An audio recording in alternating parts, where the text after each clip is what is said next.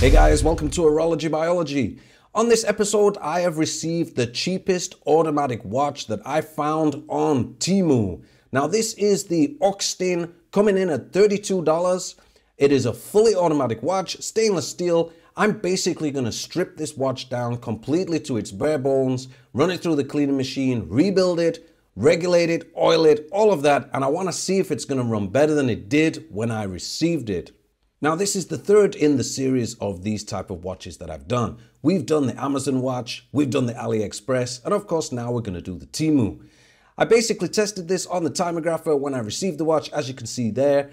The amplitude's not amazing, but it's not that bad. Beat error is a bit high, and of course the rate is also a little bit high. And I think I've got something that I can work with. Now I am expecting with all of these type of watches that it's going to be really dry inside with no oil. And of course, that's where yours truly comes in and makes it super fresh by giving it some oil special treatment. Because seriously, guys, when it comes to your watches, they gotta be oiled. It's like your car, man. I've mentioned it many times before. They need to be lubricated so that they can run nice and smooth. So like the other two watches that I've worked on within this series, the case back was exactly the same. It looks like it's a screw case, but it's not. It's a snapback. So you will need a case knife to pry it open. It's pretty straightforward and it comes off pretty easily. Also, I have removed the rotor from the automatic mechanism as well because it's always advised to do that before you remove it from the case. Once that the movement has been removed from the case, I'm going to obviously tackle the hands. Now I always put a piece of plastic over the dial in order to protect it, and then using hand levers or a Presto tool, I can just easily remove those hands.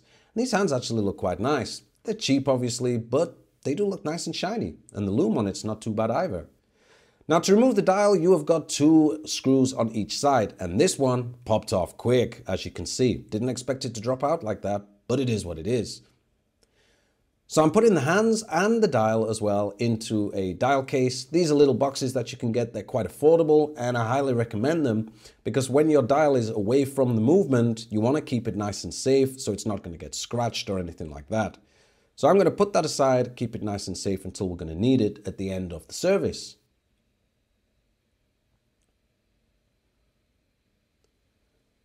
So once I've got the movement into a movement holder, the first thing that I always recommend is guys, remove your balance.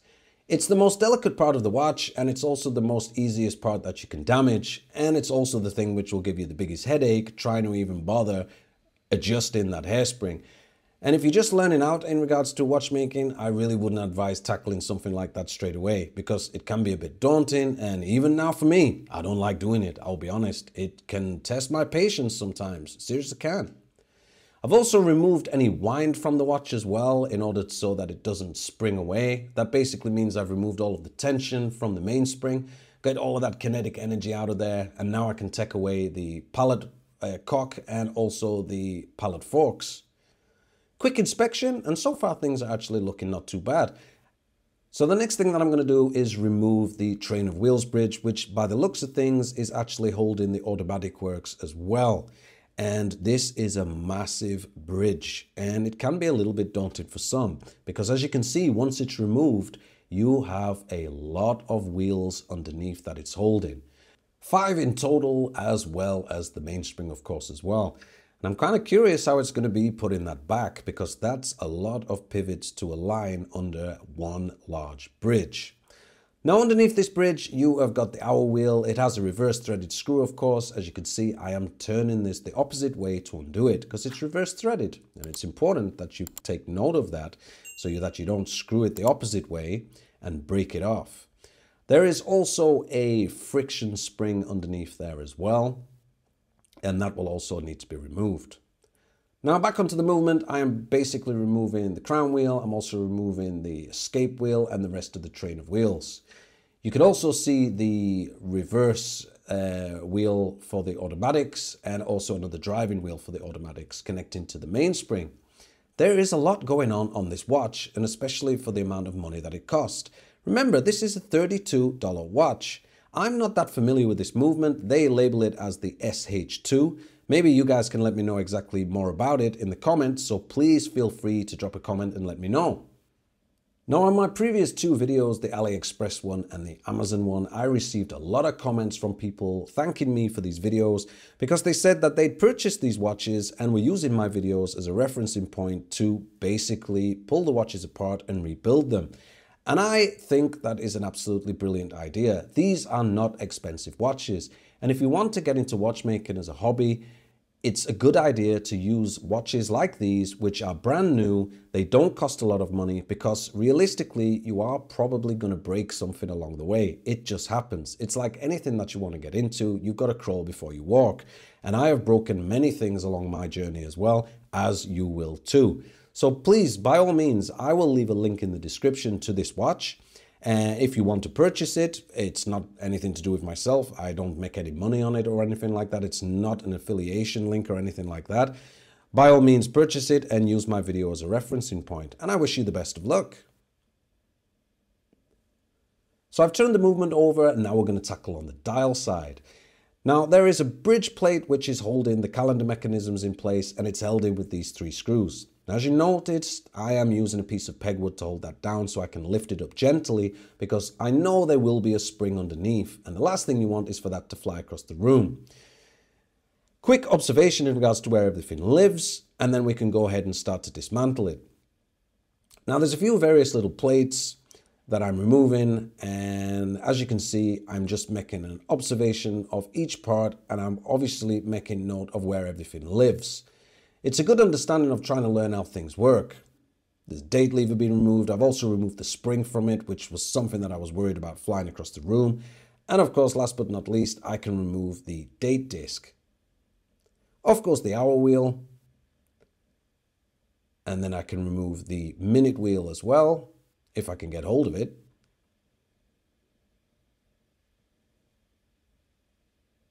Intermediate wheels, also the date changing wheels. And now I can remove the cannon pinion. Cannon pinion is quite easy to remove as long as you remove it with the Presto tools. I do not advise doing it with tweezers as some people do. Get yourself a set of Presto tools. They will last you a lifetime and it is the best way to remove a cannon pinion.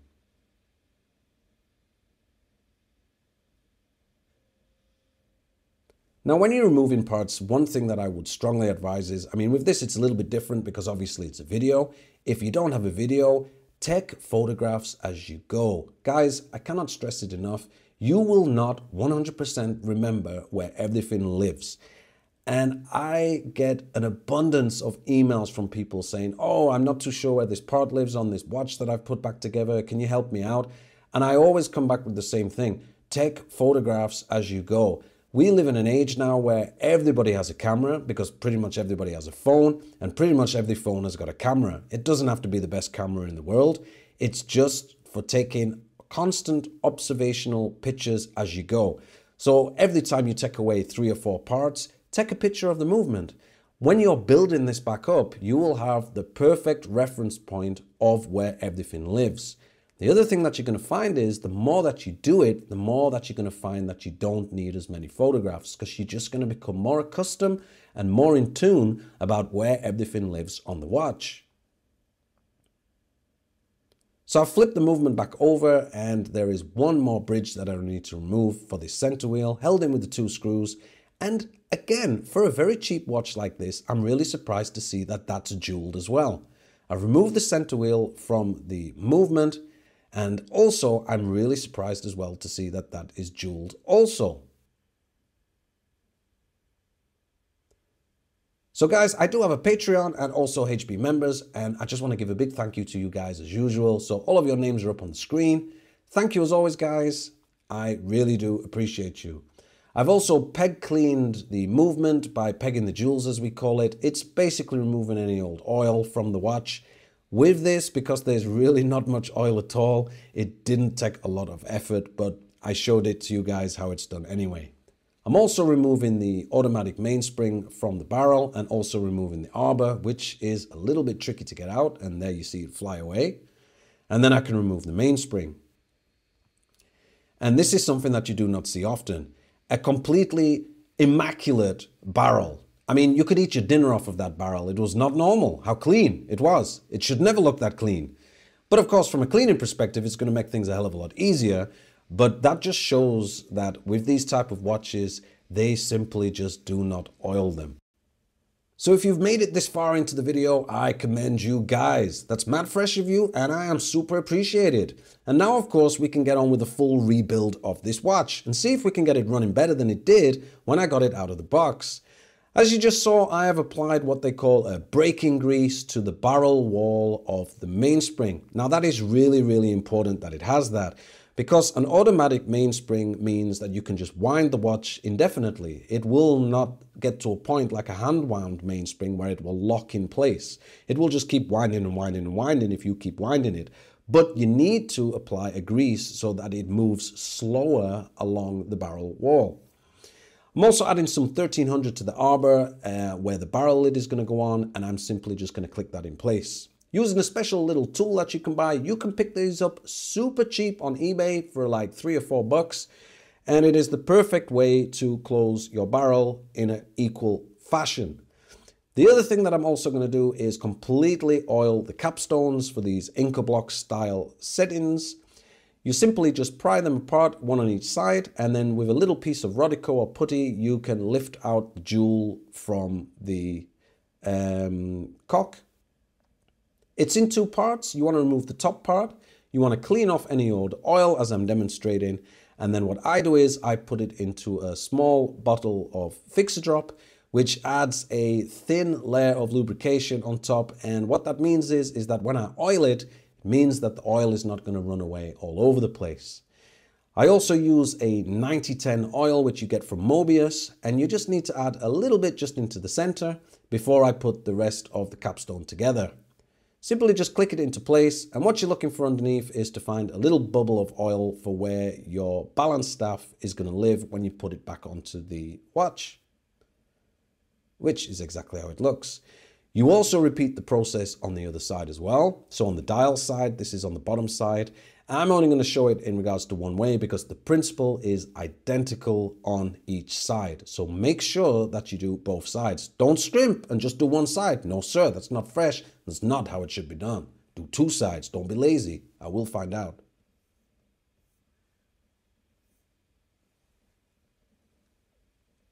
Once you fit everything in place, just clean off any dust from pegwood or anything that you've touched it with with some Rodico and the other thing that I like to do is I like to give it a nice blow test to see how freely that balance is swinging and how quickly it takes to stop. And you're wanting it to last a nice amount of time. As you can see, that balance is very, very free, which means the lubrication is very nice. And I'm very, very happy with the results that I see. Of course, once you've finished, completely now remove the balance from the movement. And again, put this away nice and safe until you're going to need it at the end of the service. Because again, it goes back to what I said at the beginning. You got to protect that hairspring. That hairspring is super delicate. It's super touchy, super temperamental, and you need to really look after it. So I'm also adding a little bit of 1300 here onto the jewel where the center wheel is going to go. I'm also adding a little bit of 1300 to the top of it as well for where the bridge is going to go on top, as you can see. And again, I am really impressed that we have a lot of jewels on this watch and proper jewels, I might add, not these thin little plastic things like I've seen on the Amazon watch and the AliExpress one. So I'm holding up confident about this. So for the posts, I'm also using 1300 as well. 1300 is like a medium oil. A lot of people use D5 as well, which in my opinion is pretty much the same as 1300.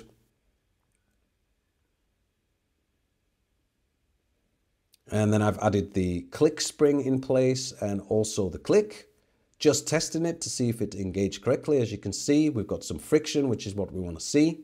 And now I can add in the mainspring barrel complete.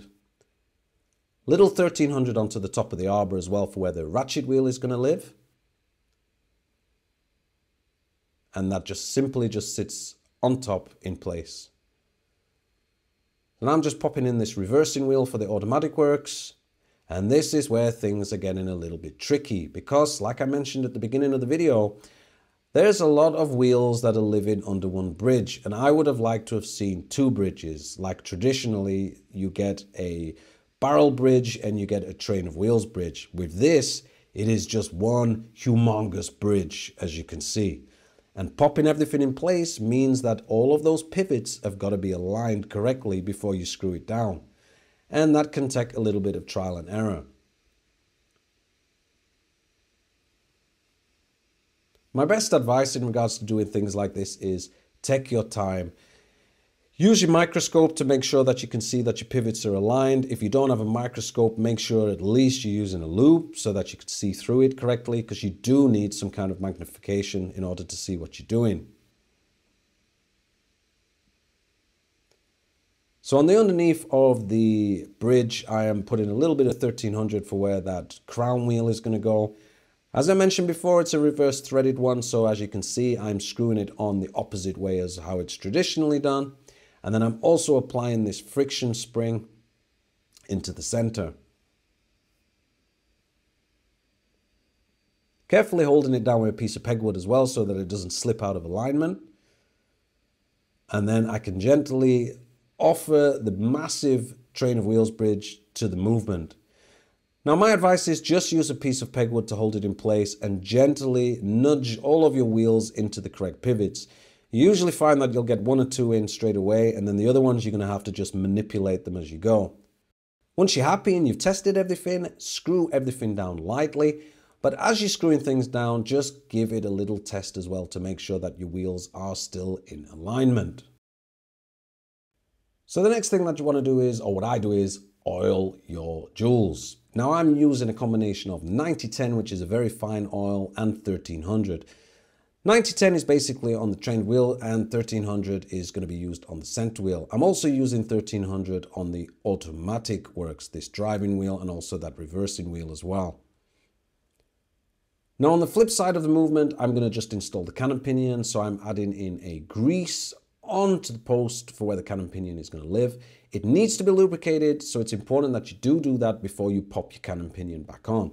Cannon pinions are just friction fit at the, end of the, at the end of the day, so you just simply just using your tweezers will offer it to the watch and push it down accordingly. Now I can build up the rest of the keyless works. So the winding pinion and the sliding pinion on this watch seem to be one piece, which I was a little bit confused at at first, but as you can see, it's just how it is on this watch. Usually on watches, they are two separate pieces. This is the first time that I've actually seen it as one complete piece. Also put it in the setting lever spring and I've just added the setting lever screw as well. Also added some grease to the arm, which is important. Anything that is metal on metal and it's going to be rubbing against itself, it is important that you use a proper grease. So how was everybody's New Year's Eve? I hope everybody got super loose and had a seriously good time. Friends, family, all things like that. Man, in the Netherlands, it's not normal New Year's Eve, something I've still never got used to. And for any Dutch people that are listening right about now, the whole situation with the fireworks, it's not normal. I've still not got used to it. The Dutch spend an obscene amount of money on fireworks for New Year's Eve. And it's kind of funny as well because every year you read the same thing in the news that different councils are talking about banning fireworks. And then they even come out and say that certain fireworks are banned, but still, it's still absolutely crazy, man. It starts building up around two weeks before the end of the year with boom, boom, boom. And then on New Year's Eve, it is like absolute war zone for hours and hours. You will not get sleep. It's not possible because outside it sounds like World War III. But it is what it is. It's only one night at the end of the year. And of course, yeah, it's good that people celebrate and have a really good time. I'm actually looking forward to 2024. I'm curious about what it's going to bring. I'm curious what it's going to bring for me and the channel. Uh, I've got a few ideas what I want to do moving forward. I'm actually happy as well that I've recorded this video for this year and I've actually also recorded another video as well for a really nice watch which will come out after this video. I need to do the editing on that completely as well, uh, but that's a very nice vintage piece. And yesterday I went to uh, a local watch expo, the first one of the year that was in the Netherlands.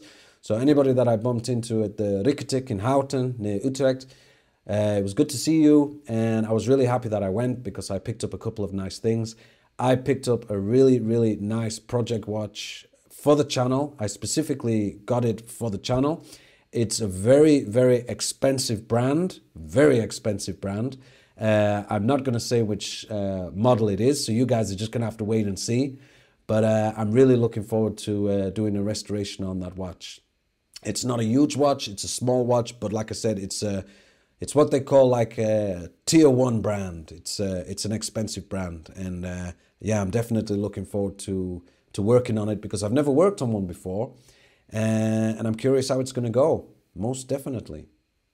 So moving on with this watch, we are getting close to the end. I've installed the keyless works, all of the calendar mechanisms, the date disc has been on, and I've also fitted the bridge plate, which is on top. Also added in the little spring as well for the date changing mechanism. And I'm just testing the quick date and it works. So I can't say fairer than that. The next thing that I need to do now, and again, close to the end, is fit the pallet forks and of course the balance as well. So for the pallet forks, I use some Fixodrop treatment. I also clean the pivots afterwards as well to remove any of the Fixodrop and then I can install it into the watch. Carefully just aligning the pivot and then I can add the cock on which is held down with the one screw. Now once that's screwed in place, I will give the watch some wind as I need to have tension in the watch in order to move the pallets in order to oil the exit stone. Now just a little bit of oil just on the stone as you can see and then what I will do is I will just manipulate the pallet forks backwards and forwards a few times in order to lubricate every single tooth or teeth, sorry, of the escape wheel. It's important that it does have this lubrication. Like I said, you will repeat this a few times in order to lubricate every single teeth. Now the complete balance has been fit, as you can see, and the watch is running. Maybe it was running before, but the question is, is it going to run better than it did? Next, we will reinstall this big dial onto the watch. So carefully just offering it to the movement, I'm just going to put that down into place. And then like I mentioned at the beginning as well, you have got two screws on each side of the watch, which will just nip against the dial feet and hold that nice and snug in place. Quick check of the sorry, quick check of the date just to make sure that it's snapping over as it should. And then of course we can install the hands. So they always go in the traditional order. You will add on the hour hand first. Make sure that your date is aligned to 12 o'clock because you want that to snap over at midnight. And that is simply just friction fit onto the movement. And you can see that the date snaps over at 12 o'clock. So the next one that I'm going to add is the minute hand. Principle is exactly the same, all friction fit, line it up at 12 o'clock. And of course that's friction fit as well.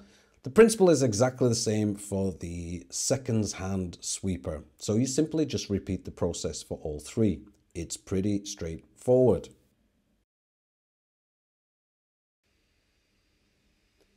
So a quick blow of the inside of the case, make sure that you get any dust out of there and then I can offer the case to the movement.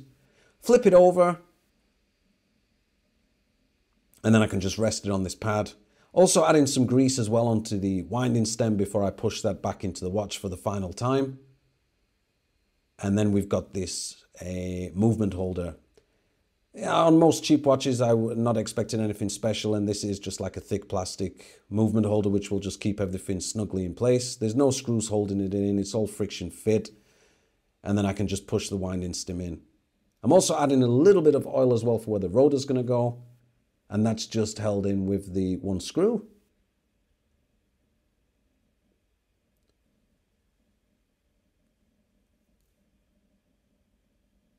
But I hope you guys have found this video informative. Please leave me a comment if you feel fit. And also, please let me know if you're going to buy it as well, because it'd be interesting to see how you guys get on. So of course the timegrapher results, what did we get? Now this is pre-regulation, bear in mind, and we have got a nice beefy amplitude up in the 320s. I'm more than happy with what I'm seeing. I will of course regulate the watch after 24 hours, but we're coming in at plus 10 with an amplitude of over 320 on a watch of this price. I am very, very happy and you should be too if you get the same results. I'm also using my Bergeon uh, crystal press tool to reinstall the case back. So there we have it, the Ochstin Automatic $32 Temu watch. Guys, I really hope that you found this video informative and I really hope that you use it on your watchmaking journey as well. If you're bored and you've got nothing else to do, there's two more watch restoration videos on the screen right now, so enjoy. And as always guys, till next time,